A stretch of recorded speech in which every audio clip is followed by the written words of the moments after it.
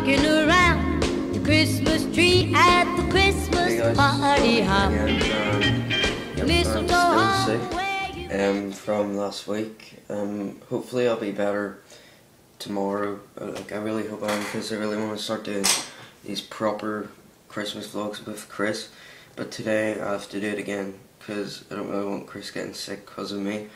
So yeah, I'm definitely gonna go out tomorrow. We're probably gonna go to the spa or something to talk about stuff about Christmas. I've got a huge spot there, which is well, anyway.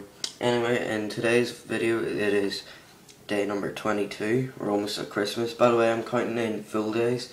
Um, if I was counting in other, uh, it'd be 23 because um, 22 days and 10 hours, well around 10 hours of Christmas. So yeah, I'm just going to count like that because it makes it go quicker. Anyway, in today's one, I'm going to do, be doing a review of this movie, Fred Claus. Gee, Fred Claus. Uh, watched it last night with my sister because we're watching a Christmas movie like pretty much every night.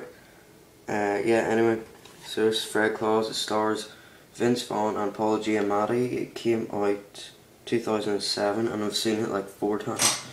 So um, it's a pretty good movie. I'll tell you what it's about. It's about um, this guy called Fred there. Or he's Santa Claus's brother in this. And at the beginning, um, like Santa's born and he's really fat, and then he says he'll be the best big, brother to him.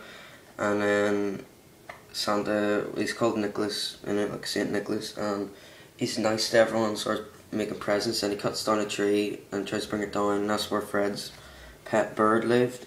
And then he got really angry at him and started to hate him from then on into the story. And then Fred needs to get bailed out of jail or something. He has to go to the North Pole to get money from Santa to get, well, I don't know, something like a ticket or something. I'm not quite sure. I can't really remember. Even though I watched it last night.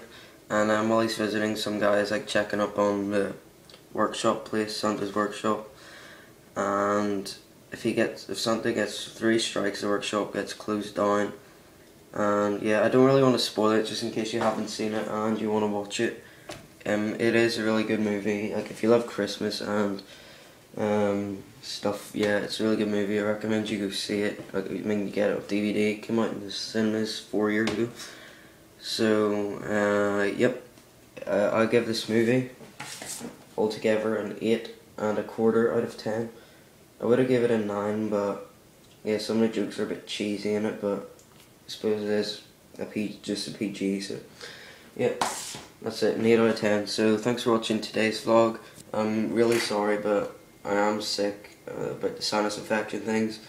And still not better. It's currently 20 to 2. So tomorrow, me and Chris, well, we're not quite sure what we're going to do. Um, we might say our top 10 favourite Christmas movies or just talk about Christmas, what we're getting or whatever. Because, well, I have to go out to Newtownards tomorrow to do some Christmas shopping. So when I get back, I'll call for Chris and then we'll do the vlog.